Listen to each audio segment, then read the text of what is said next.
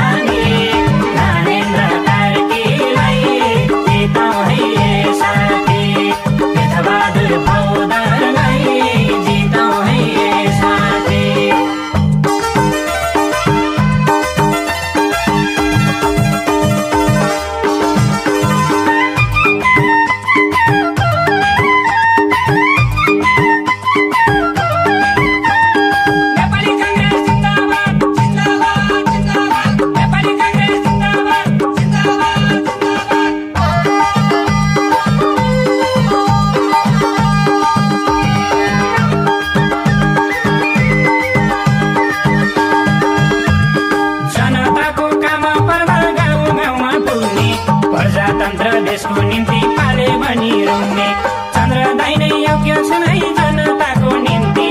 रुखैमा छ भानु जनता हाम्रो पनि बिन्ती।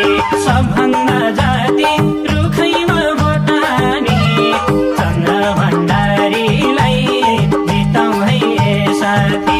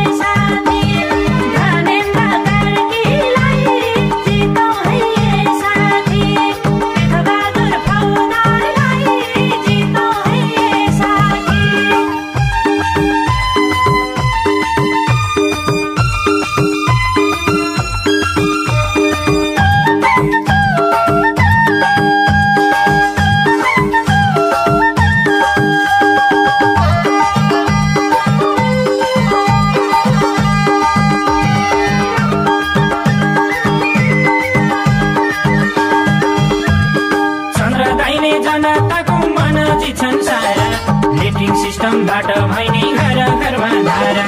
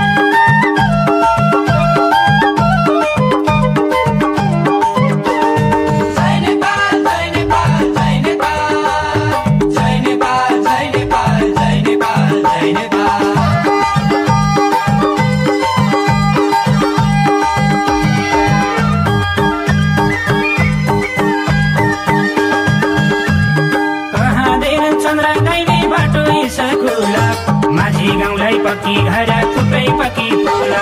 यिनकै लगन प्रयास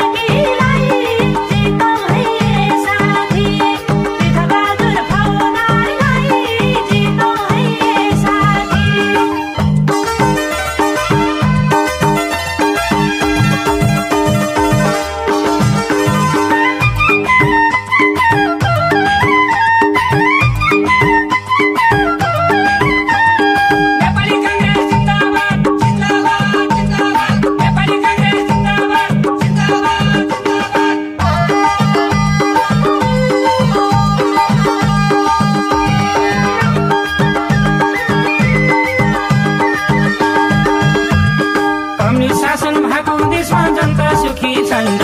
लोकतन्त्रका सिपाही भने युवा नेता चन्द्र सडकदेखि सदनसम्म बोल्छन् हाम्रै कुरा।